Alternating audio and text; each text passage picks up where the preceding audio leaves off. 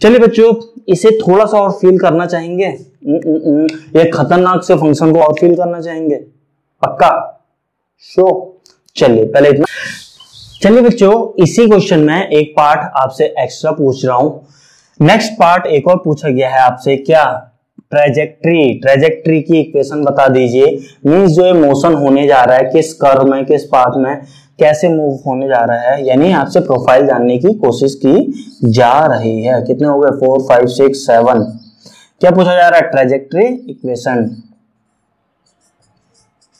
Trajectory equation बच्चों trajectory equation हमें कब कब की ज़रूरत पड़ती है? डिस्टेंस ऑल्सो निकालने के लिए। पता तो चले पाथ कैसा मूव हो रहा है। तो या तो आप सही में पाथ पता कीजिए या डायरेक्टली इंटीग्रेट डॉट डी कीजिए। आपको पता भी नहीं चला पाथ कैसा था और आपका आंसर भी आ गया और आपको मार्क्स मिल भी गए। आपकी मर्ज़ी।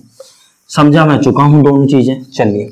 ट्रेजेक्ट्री इक्वेशन बच्चों, एक बात बताइए। ट्रेजेक्ट्री की इक्वेशन आप लोगों से पूछी जा रही है। एक बात बताइए, यही तो है। यही तो है पोजीशन वेक्टर यानी ये किसको डिपेंड कर रहा है? एक्स कंपोनेंट को। ये किसको डिपेंड कर रहा है? वाई कंपोनेंट को। आइए, ये वाला पार्ट सॉल्व कर रहे हैं। एक्स कितना है बच्चों? एक्स है आपका एक्स है चलिए यहीं पे करते हैं। X equals to twenty t y equals to fifteen t minus five t square यही तो है। कोई डाउट नो डाउट बच्चों इक्वेशन निकालनी है तो टी को एलिमिनेट कीजिए। चलिए करते हैं। Y equals to fifteen t की जगह डाल दीजिए एक्स बाई ट्वेंटी टी की जगह डाल दीजिए x बाय ट्वेंटी का स्क्वायर अरे वाह. Y equals to something constant x minus constant x square बच्चों, ध्यान से देखिए, इस इक्वेशन को देख के समझ में आ रहा होगा। पैराबोला की इक्वेशन है। इसको देख के समझ में आ रहा होगा। पैराबोला की इक्वेशन है। बात समझ में आ रही है या नहीं आ रही है? चलिए, आइए, थोड़ा सा और देख लेते हैं, जब इतना देख ही लिया है तो पैराबोला। अब बात यह आती पैराबोला कैसा है? कैसा? अपवर्ड, डाउनवर्ड, साइडवर्ड, कैसा? आइए, देख लेते हैं। कैसा पैराबोला है, वो भी देख लीजिए। चलिए, बच्चों, पैराबोला थोड़ा सा भी अगर आपको ज्ञान होगा मैथ्स का तो ये पैराबोला कैसा बनने जा रहा है? माइनस बी एक्स स्क्वायर यानी इनवर्ड। काफ़ी बच्चों को मुझे समझ में आ रहा है आप लोगों के रिस्पॉन्स देख के कि आप लोगों को नहीं समझ में आ रहा है कि ये कैसा बनने जा रहा है। बच्चों, आपका समथिंग समथिंग ऐसा बनने जा रहा है। ऐसा पैराबोला बनने जा रहा है। नहीं समझ में आ रहा है ना? आइए, सिखा देते हैं यार तुम्हें। जल्दी से। For example y equals to a x square plus b x ये कोई जनरल पैराबोला की इक्वेशन है। यदि a आपका पॉजिटिव हुआ, a आपका क्या पॉजिटिव तो आपका कैसा बनने जा रहा है? अपवर्ड अपवर्ड मतलब ऐसा बनने जा रहा है। आपका पैराबोला कुछ ऐसा बनने जा रहा है। यानी पानी भरता हुआ, यानी कैसा है? पानी भरता हुआ। ए पॉजिटिव यानी पानी भरता हुआ, लिख दे रहा हूँ यहाँ पे। पानी भरता हुआ अरे यार क्या क्या काम करवाओगे? भरता हुआ। चलिए ठीक है। दूसरा अगर ए नेगेटिव आता है ए नेगेटिव आता है।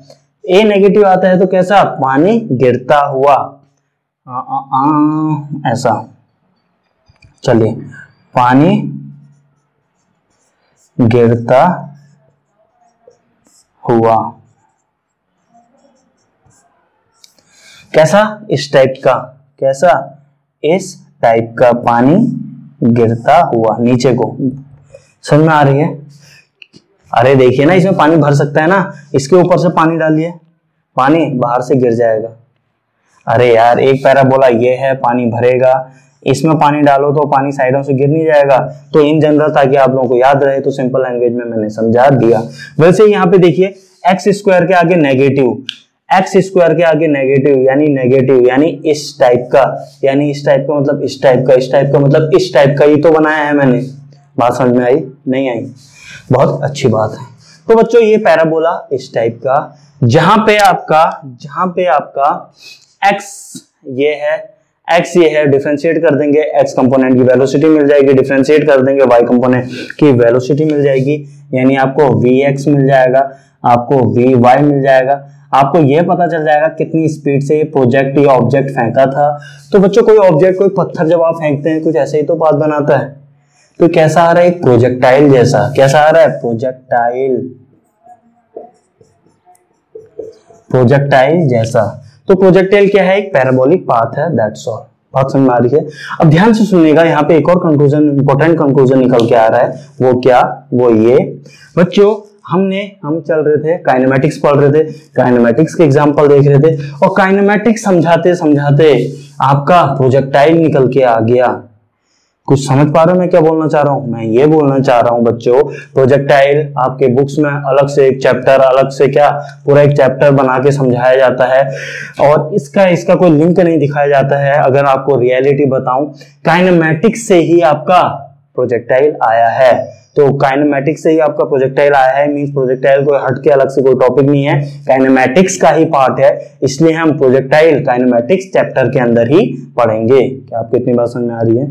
श्योर नोट करना चाहते हैं। नोट कीजिए।